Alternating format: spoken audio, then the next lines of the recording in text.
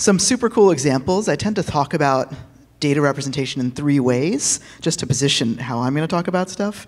The first one, we just saw a great example, right? The classic business intelligence trying to look at something that's happening, measure it, and improve it um, in some measurable kind of way. Uh, the second one, we saw examples earlier, um, spreading the message. So using infographics and tools like that to use data to tell a story, to either spread the word about someone, something or convince people to act or engage in some way. And then the third is the one that I do most, which is using data as a way to bring people together. Um, as a way to engage people in some kind of community setting or decision making processes. And that's the one I focus on most and the one I think I'm going to talk about most. Oh, thank you so much. Yeah.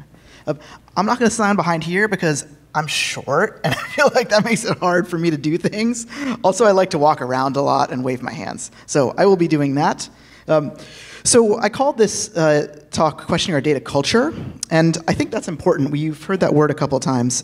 Thinking about what uh, the set of practices and the way we operate around something is. Um, so I do this work at Northeastern University. Um, I like to start with just a land acknowledgement of that Northeastern University is built on the traditional land of both the Wampanoag and the Massachusetts people. Um, Somerville, the city I live in, is one of 12 cities in uh, the Massachusetts area that have changed the Columbus Day to call it uh, Indigenous Peoples Day. I think that's one way of honoring that heritage. I also have learned a ton from being involved on a project called the Data Against Feminicides Project, where I can work with groups of Indigenous people that are tracking missing, murdered, and Indigenous women, so MMIW. Um, so those are two ways that I think we're trying to honor that heritage, both individually and also in the community setting. So I want to start by taking you on a little journey with me, just to set a scene. Um, so if you'll flow with me for a minute, close your eyes, and I want you to imagine a uh, Middle Eastern market. So you might hear the sounds of, in my case, this is actually a picture from India um, because those are the markets I know better. You might hear the sound of a bicycle going by. You will probably hearing some animals. Either in India it'll be some cows or some dogs. Middle East it might be more goats um, walking around. You'll hear trade happening, people exchanging goods, lots of vendors trying to get your attention, um, car horns honking, uh, motorcycle horns honking, uh, rickshaw horns honking. Um, so Imagine that setting, and then imagine a young man named Asim. Asim is, has just woke up, and Asim is running late for work. So Asim lives on one side of the market, work, the factory is on the other side of the market. Asim is running through this market, trying to get to work. But before he could do that, he is taking care of his mother. His mother is sick. He has to, uh, there's a medicine schedule of things that she needs. He has to put a cold compress on her head. Um, and uh, Asim is heading out the door. He passes some instructions to his sister, walks into this market, runs around those bicycles, around those animals, around that trade, and makes his way to the factory. The factory, as you might if you've worked in the service industry, there's someone clocking him in. So there's a dude with a tablet who's like looking at his name and be like, You're late. If you're late one more time, you're going to be fired. Anyone that's worked in service industry or in factory type settings, you've experienced that before. Um, so, why do I share this story? Uh, it's relatable. It's an example of data production, right? This is collecting data about people showing up late to work. You can open your eyes now if you would close them. Um, it sounds very contemporary, but it's actually about 3,000 years old. Um, why do we know this? We know this because there is a piece of clay that has scratched in it the reasons that people were late to work.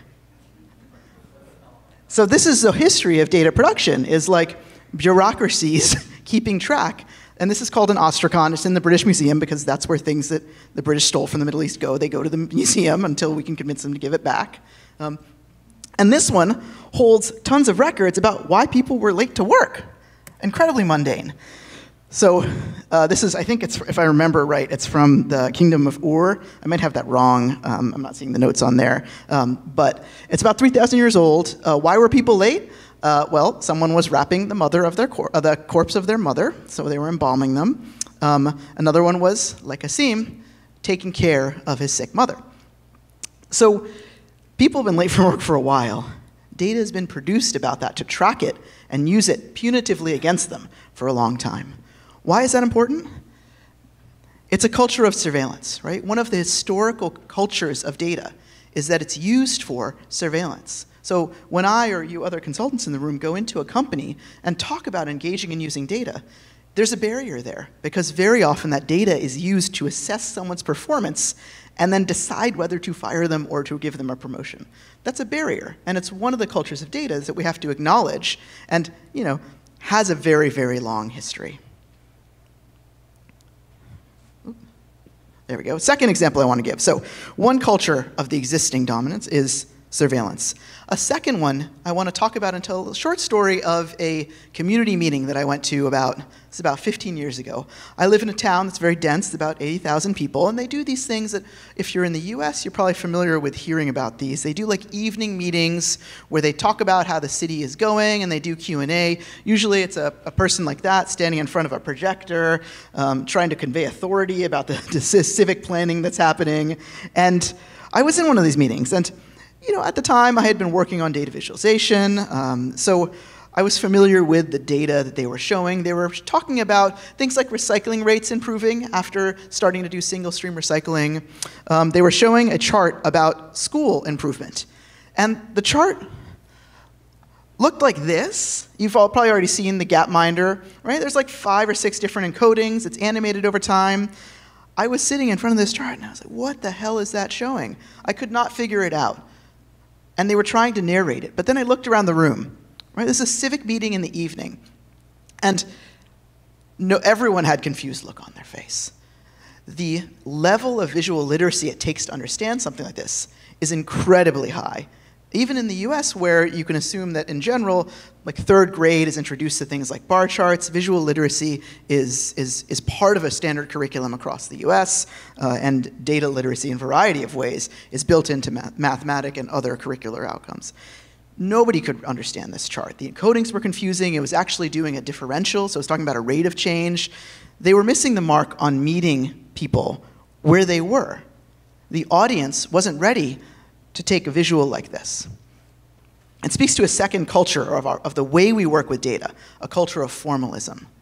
So I'm trying to take a step back from all these examples we've seen and introduce some of the ideas underneath them that we want to think about and acknowledge. So the first is this culture of surveillance that is historically how data has been operated. Um, a second is we have a cultural formalism.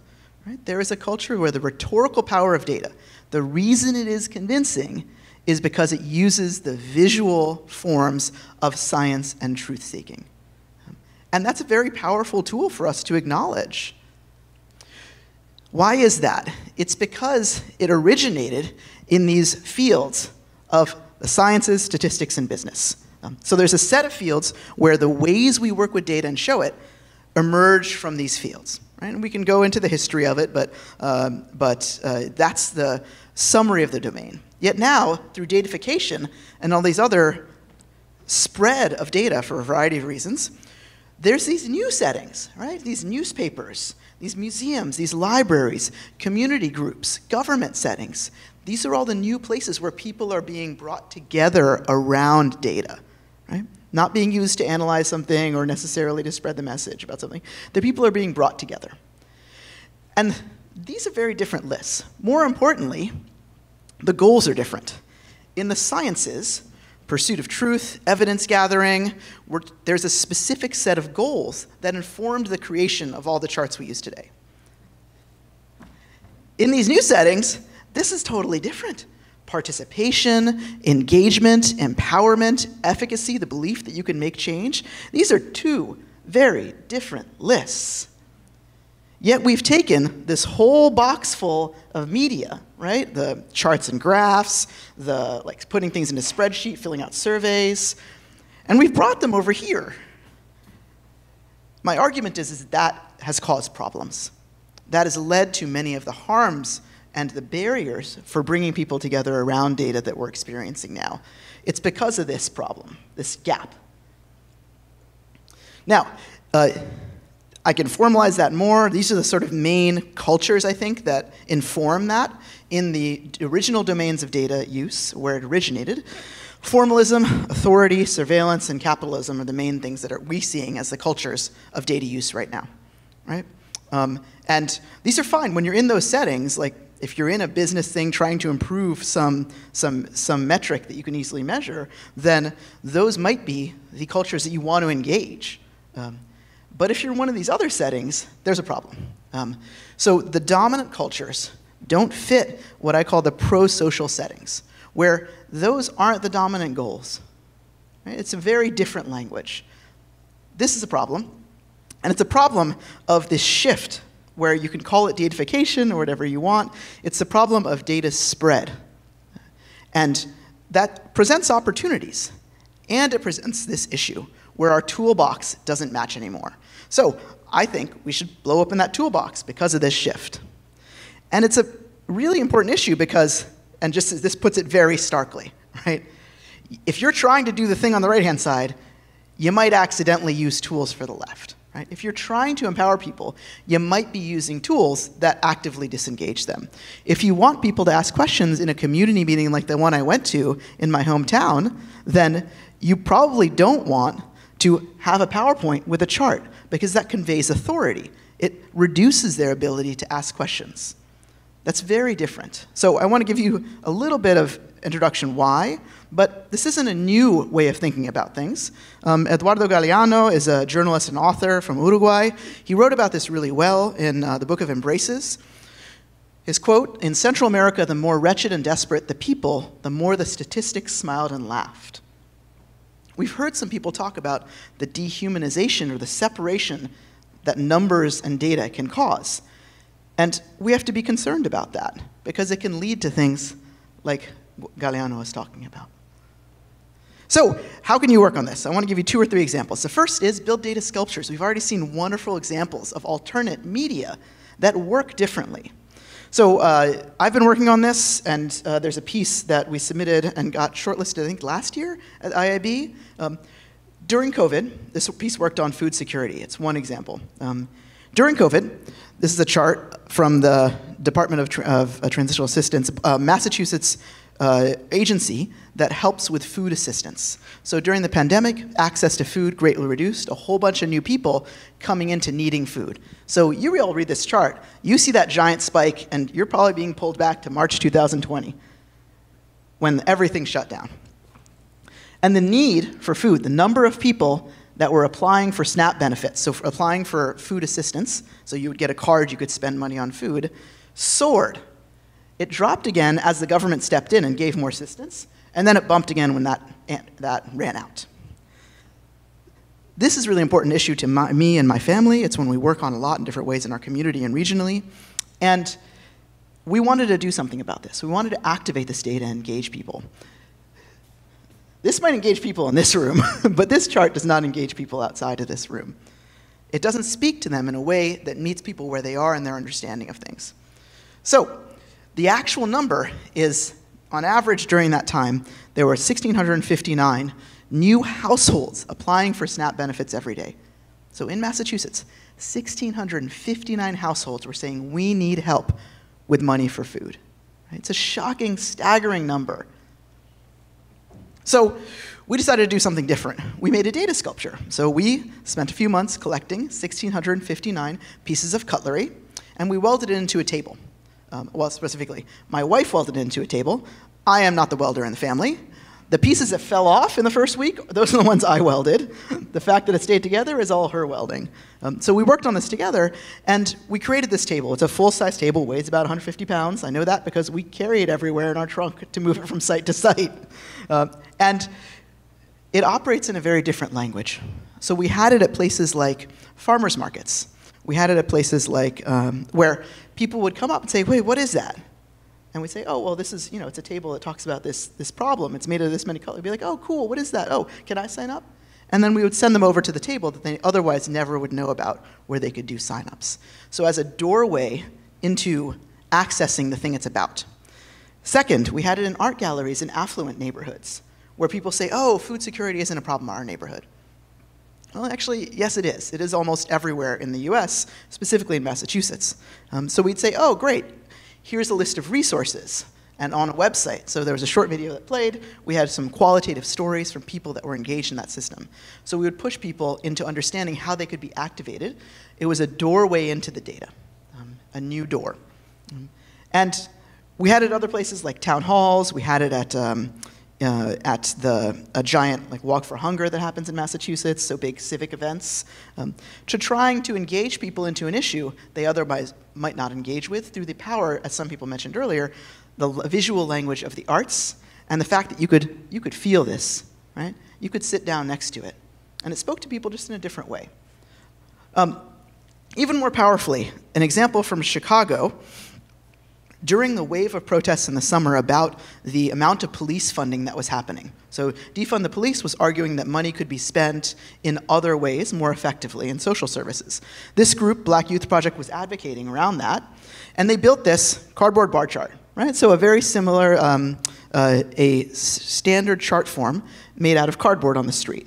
So, it speaks in a real spectacle. Like, you're, I'm down here looking at it, right? That's about life size.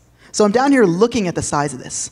I'm like, oh, wow, look, this bar here, this is the police funding in Chicago. There's someone from Chicago here. Like, that's the amount of money, police. This is schools. And then we get start to get to other social services. They were arguing this was a problem. And like, this is, it's cool. I like it. It's on the street. It's meeting people where it are, where they are. Here's why it actually is really interesting to me. This is made out of cardboard boxes you can grab a cardboard box and you can move it, right? A bar chart doesn't look changeable. It speaks of static truth. This cardboard bar chart, you can grab something and move it. It makes you think, as the viewer, that change is possible, which is what their point is, right? So, as whether you agree on that changing of, of, of funding or not, what their method does, using a different media, going outside the standard toolbox, just using cardboard boxes, changes how you read it and what the viewer thinks is possible. And that to me is a really powerful example of just changing one variable of how they encoded it, right? The media, right? Not using a bar, using a box and a stack of boxes suddenly changes how you think about it. It makes you think, hey, this is actually something we can change. And that was their message. And that to me is a really powerful example. So, uh, long history, you all can look at that. Somebody mentioned the, uh, the data physicalization. I call these sculptures because I think physicalization, A, is super hard to say. I totally agree. B, I think it includes both embodiment and externalization, which is like sculptures. So I, I tend to focus on sculptures because embodiment we'll get to later. So, it's a culture of empowerment that we need to embrace in these new settings, right? We're no longer in the sciences, we're on the street protesting about budgets. We need a different toolbox. That's a culture of empowerment. Second example, um, that says paint data murals. so uh, participatory community murals uh, are you know, rich history from specifically South America and Mexico have long traditions of using painting arts on the wall to affect public conversation and public perception. The, so long, we have a long history of studying that, talking about how it shifts public uh, public debate and how it can shift policy, tons of research on impacting that. So we've been doing data murals for about, yeah, more than 10 years. Again, another project with my wife, who's my main collaborator on this stuff. Um, what does that mean? Well, we start with something like a data handout, um, something that you all would find familiar. Um, we move to finding a story together with that data, with a community. Once we have that story, we start to do some facilitated visual design where we collectively design a mural to paint. We get a bunch of people together and we paint it. And then we have an opening ceremony because those are fun. Everybody likes snacks, everybody likes opening ceremonies. This process changes the ownership of the data story. Usually data like this would be, so this is specifically about the impact of a urban farm. And the story they're telling uh, starts over on the left-hand side about the health problems that are happening in the community. They've reclaimed this many plots in like an old parking lot to plant vegetables. And then they're taking that in mobile markets. It's very infographic-y. In mobile markets to uh, youth saying that I never knew vegetables could taste good, raw vegetables, um, to 400 kids at schools helping, to all of that formula together equals together living better. So it's a story where they analyzed the data that had been produced about them, that had been extracted from them, and they owned the story that they were telling with it. Right? It wasn't shipped off to somebody else to analyze and send back a report. That flips the power narrative. that rhetorical power of using information, it flips it. So yes, there's like a theory under there, but very concretely, it changes it up. This, we did the same thing in Brazil a year later. Um, we've been doing these. There's 12 of them we've helped with around the world, and then there are, there's a big group around um, Kenya and, Tanzania that is doing a bunch of data murals inspired by this work. Um, and then there's some other examples also that are sort of starting to pop up, which we're super excited about. Um, so this is powerful for me because it treats data as a mirror. Usually I would argue data is a window. We look at some other group by capturing data about them and producing it, and then analyzing it. So we're looking at some other people. Mirror is very different.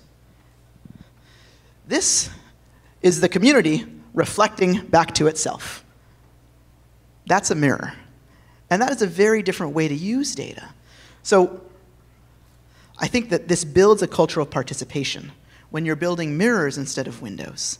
Um, and that's a very, again, a different need. We're not scientists doing observation here. We're trying to help a group use information to advocate for change or showcase their impact or things like that. Okay, the last one is performing data theater. So this is where I was splitting between uh, embodiment and, um, and sculpture. So there is a we're doing a bunch of experiments now with a bunch of colleagues of mine at Northeastern University where I work in the theater department because I wasn't the theater kid in high school. So I'm learning from all of my colleagues that work in theater. And what I'm learning is, first of all, Tableau means something totally different to them. So if you talk to some theater people, Tableau doesn't mean what we mean Tableau means, okay? Um, second of all, there's a real richness. This is some students performing a piece where we're working with a group that works on the issue of green space in the city. And as you know, most cities that are very urban, it's hard to fight for green space, specifically in areas that are typically underfunded. Um, what happens, though, is that when you build that green space, very often those groups that used to live there are displaced. In Boston and many other cities, it's people of color that live in those city, place, parts of the city, and they are, that, they are gentrified out as soon as green space comes in. This is really problematic. Um, so that's a tension.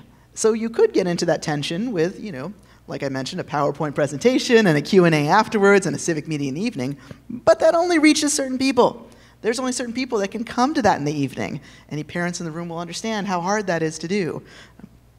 So we're trying something different. We're saying, can we actually create a theatrical representation of that data? That maybe is like a half an hour production, and then has deliberation afterwards. There are practices within the history of participatory theater that we can learn from. Again, learning from the arts.